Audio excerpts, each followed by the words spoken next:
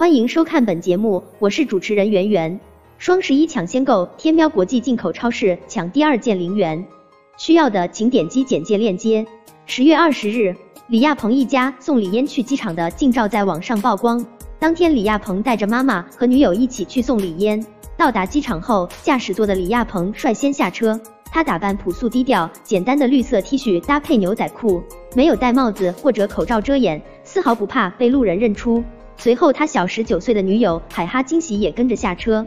海哈金喜穿着宽松白色外套大玩下衣，失踪，一双美腿又细又直，比例优越，眉眼立体精致，外形十分出众，颜值是可以出道的水平。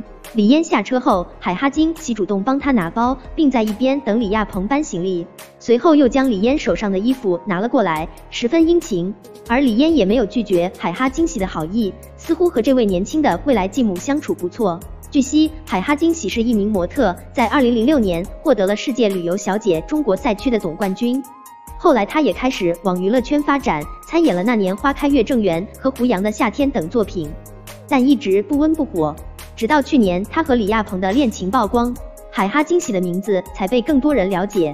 对这位小女友，李亚鹏十分宠爱，不仅跟她一起回老家见家长，两人还经常外出旅游，感情十分甜蜜稳定。此前，李亚鹏被拍到带海哈惊喜和李嫣一起吃饭，想来两人的感情已经发展到了一定程度。而从李嫣对海哈惊喜的态度上来看，他对父亲的新恋情似乎接受良好。